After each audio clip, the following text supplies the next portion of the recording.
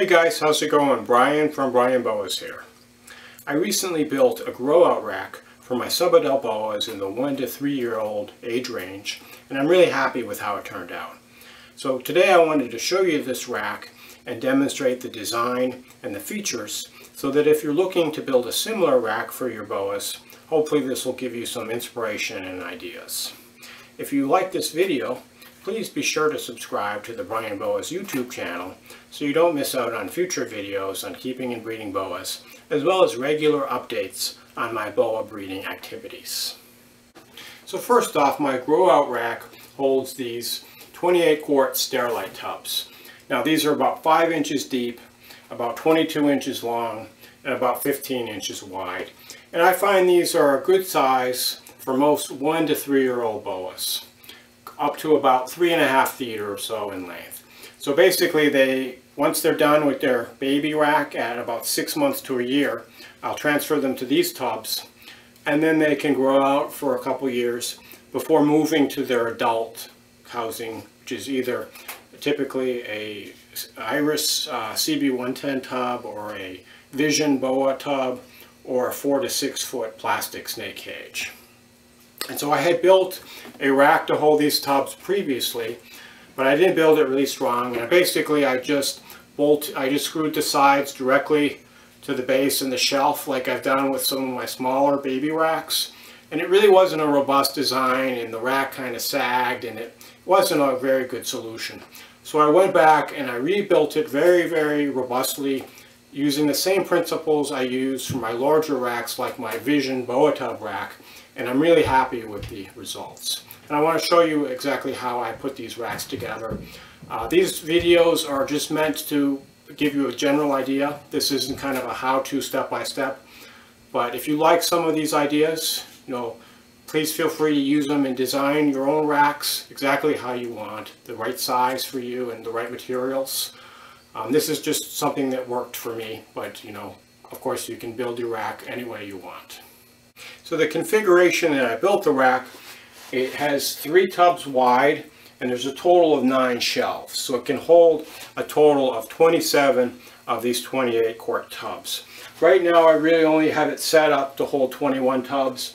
The top shelf and the bottom shelf I have empty, which I'm using for storage, but I can eventually add a heat strip in here and some additional tubs if I so desire.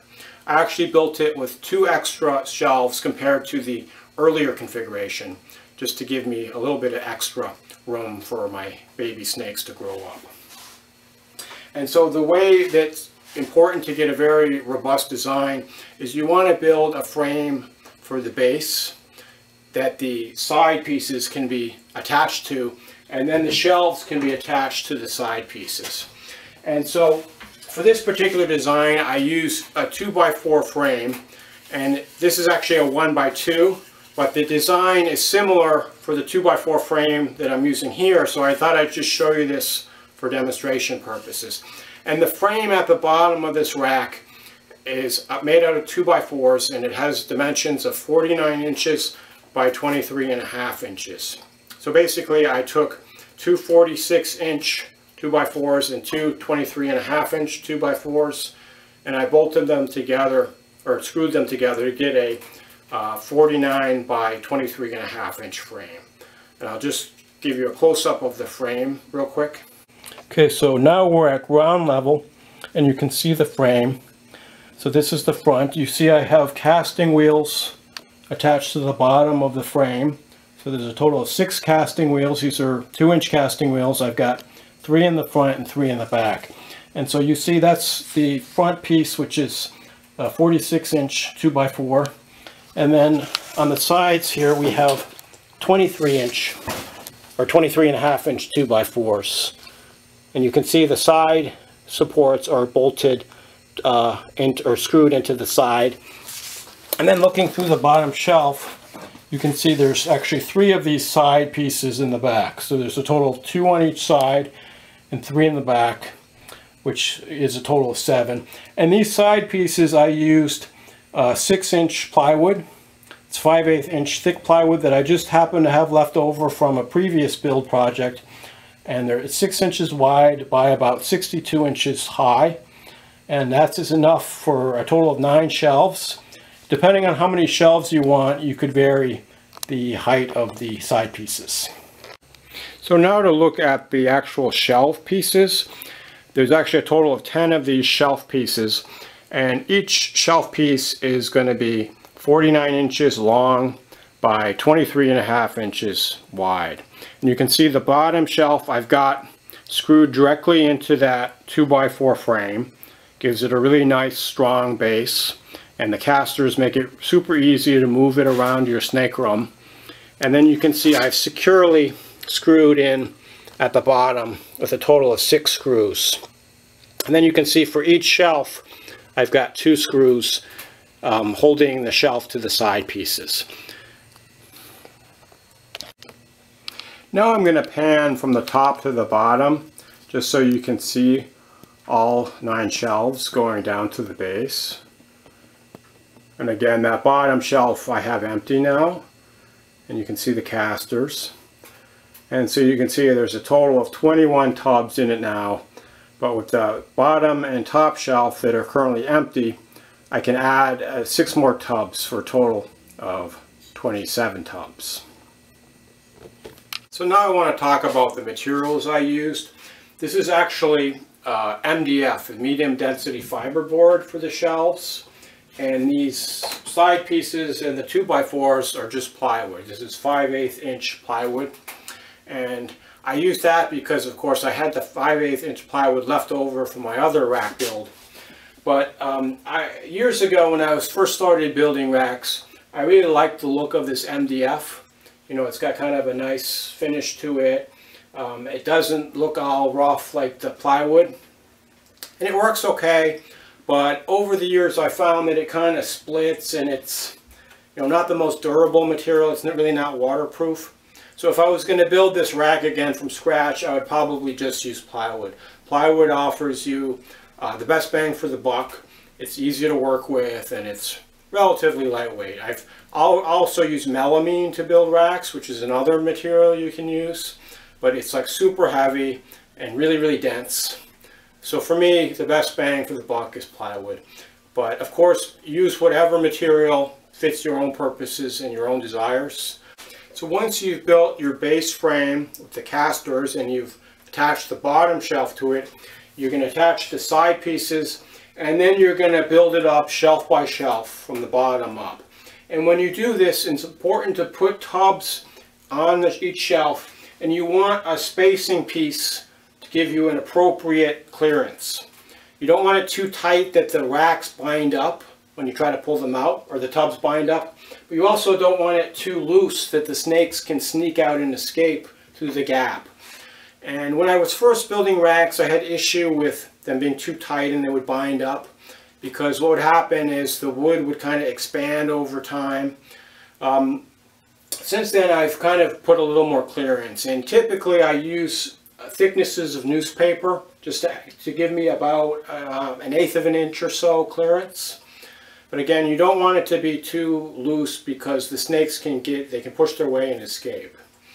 When I was building this rack, I actually left some of the gaps a little too loose. So I'm actually using these popsicle sticks for now as a shim. And they just go under here, you know, two on each side, or, you know, actually it's a stack of three on each side and some in the back.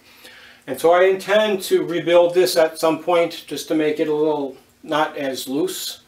But for right now, the popsicle sticks are working fine as a shim.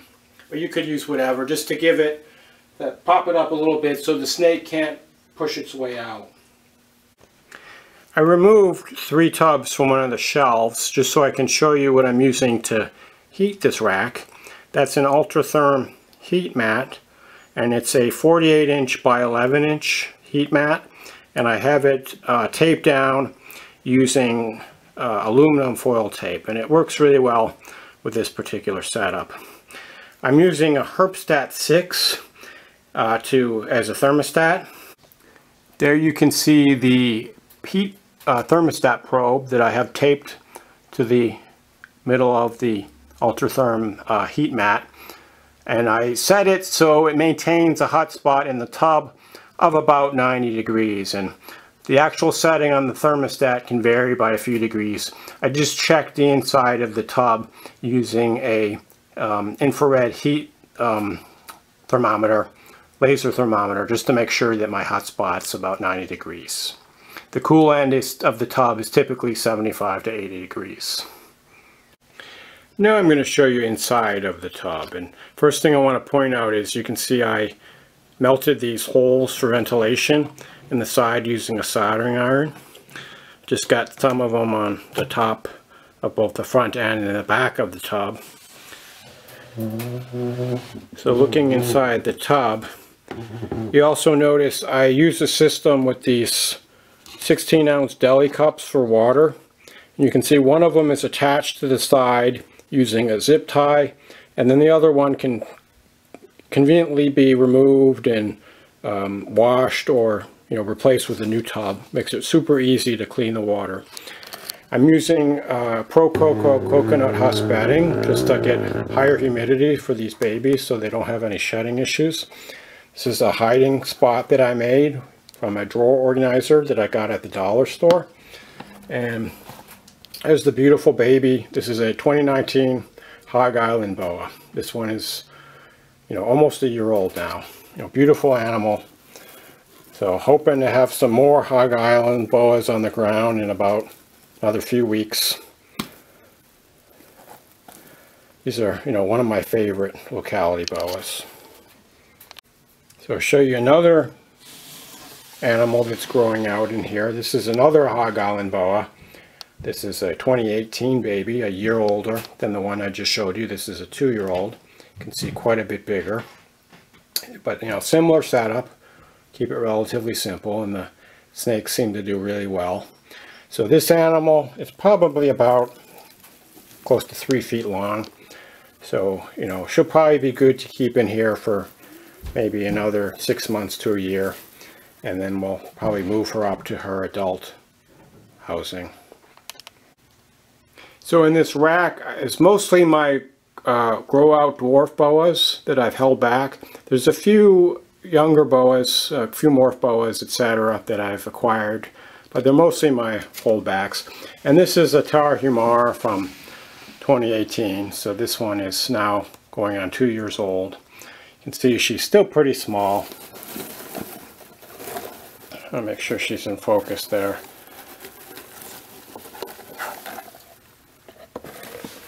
But you know, another beautiful animal. This one's a little lighter than some of my other Tarahumaras. This one, the mother is kind of, there's a lot of pink and it's really light in color. I actually had paired her up again this year, but I'm not sure that I'm going to get babies. It looks like I probably won't have any Tarahumara babies, unfortunately, this year.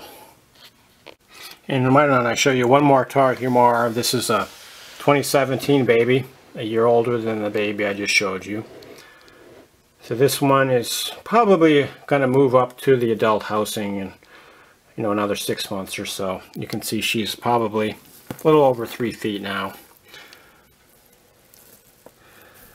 Just another beautiful dark Tarahumara. This is actually a half sibling to the female that I just showed you previously. So let's look at one more animal. So I didn't breed this one, but I'm really excited about this one. This is a Argentine boa that I picked up late last year. This is actually a 29, 2019 baby. You can see he's actually pretty big for 2019. He's growing real fast. Um, you can see he still has some saddles, you know, in contrast to my older Argentines, which the saddle have really become less distinct see the, the younger animals have a much more well-defined saddle if you've ever seen my older ones. Um, but just a beautiful animal. And the Argentines, as I've you know said many times in my videos, are probably my favorite locality boa. Certainly one of the top, you know, two or three. So there you have it. That's my 28 quart boa grow out rack for my subadult boas. I hope this video was helpful and maybe gave you some ideas for your own build projects. As always, please feel free to reach out to me with any questions. Thanks for watching and enjoy your boas.